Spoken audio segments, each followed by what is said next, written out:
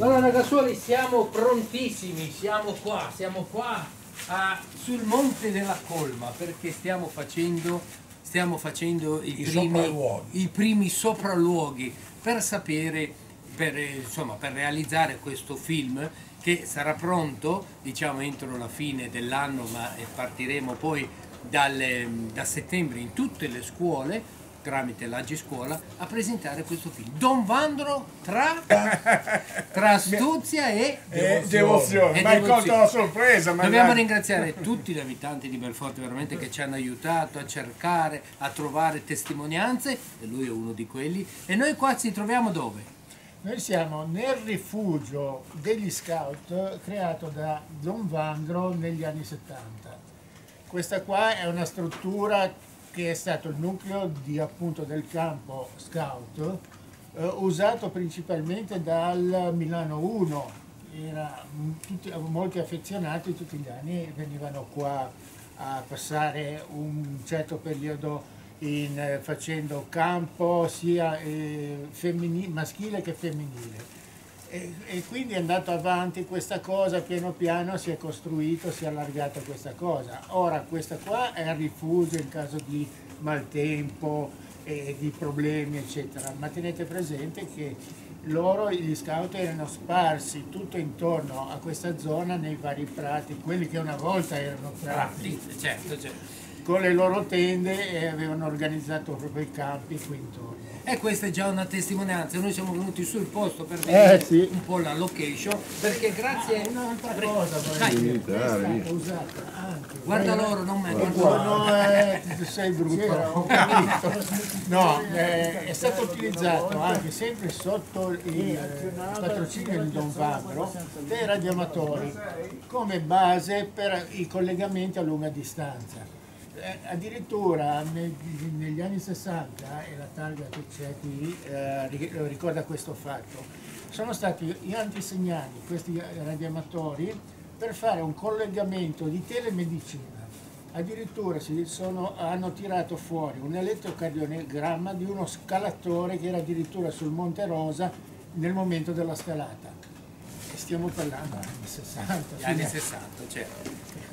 quello- allora che- e quindi ancora adesso dei radioamatori ogni tanto ci, si riuniscono, ci riuniamo, Ci riuniamo? Ci riuniamo qua per fare collegamenti anche a nome di Don Vando. Ma per quello che dico tra devozione e astuzia, perché era astuto, era intelligente. E il nostro regista ci ha portato qua Enzo Francesco Ferraro, buongiorno Enzo. Eh, sapete che lui è un regista acclamato perché ha fatto tantissimi film, tanti documentari, ma quello di successo è La staffetta che è stato presentato al Festival di Venezia. Sì, sì, sì, è Vero? stata al Festival di Venezia.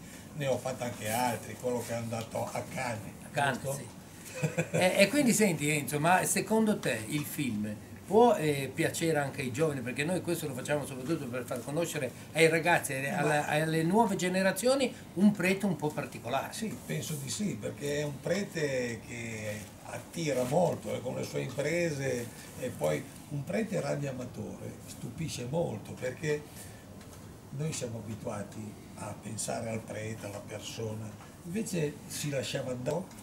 Mi interessa, mi interessa molto. Un Don Camillo Sì, piemontese. esatto. Direi di sì. Il nostro fotografo, il nostro fotografo anche lui molto conosciuto perché ha fatto tantissime eh, all'estero cose. soprattutto, sì. eh, Negli Stati Uniti all'estero. adesso sono qua per aiutare a realizzare questo film. E questo è importantissimo perché la fotografia fa tantissimo, soprattutto ti mette proprio in luce il punto dove devi realizzare questo. Poi abbiamo ancora Ettore, Ettore Ramondini che è il, mio, è il mio braccio destro, lui fa tutto, fa da macchinista a aggiustatore di roba. un factotum, un factotum. volta Eh.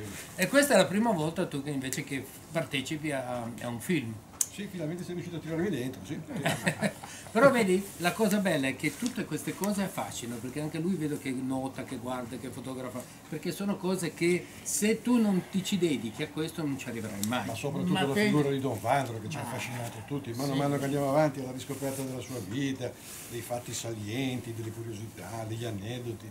E ci affascina tutti, perché è un personaggio di cui non c'è più traccia, insomma, è quasi Esatto. sapore d'altri passato tempi. 50 anni della nostra vita. E noi dobbiamo ringraziare anche, diciamolo la verità, ma non è una, diciamo, una leccata, ma è importante dire la sindaca di Belforte Sì, che Nadia, si, è, sì. si è data da fare in tutti i modi per riuscire a trovare sì, testimonianze. Sì, no, sì, sì, Nadia? sì, sì, sì. Nadia, sicuramente lei, è- a parte che è, è partecipe alla, alla vita parrocchiale, quindi eh, ben venga questa cosa, e soprattutto molto affezionata a Belforte, quindi Certo. le testimonianze eh, sono uscite, ci sono. Allora adesso noi invece vi rivolgiamo a voi, nel senso che siccome le riprese inizieranno a febbraio, vero capo?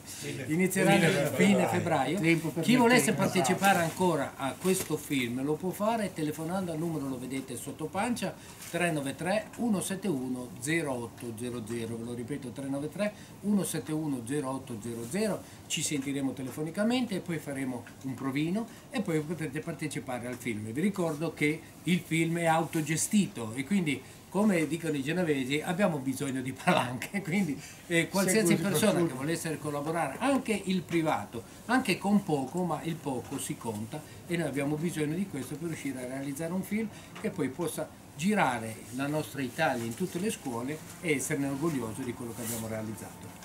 Ben vengano. Ok. Mi raccomando, siamo qua, ti aspettiamo, aiutateci.